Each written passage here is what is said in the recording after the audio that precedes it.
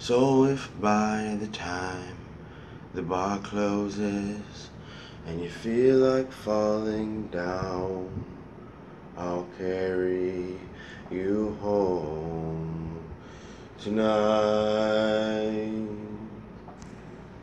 That was a professional rendition, reenactment of uh, the song, number one hit single, Platinum Plus. I'm gonna carry you home tonight. I'm gonna carry you home tonight. I'm gonna carry you home tonight.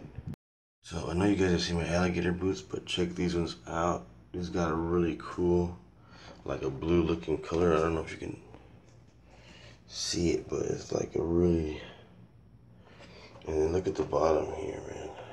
Look at that. That's good.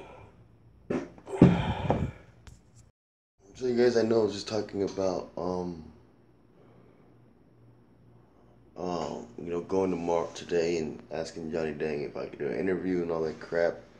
But tomorrow, today is Labor Day, so it is closed. A lot of places are gonna be closed. I don't know what I'm gonna review tomorrow. I gotta review something. We might have to go to Walmart. Walmart's always open. They open. They close for like one hour during Christmas. You work at Walmart, guys.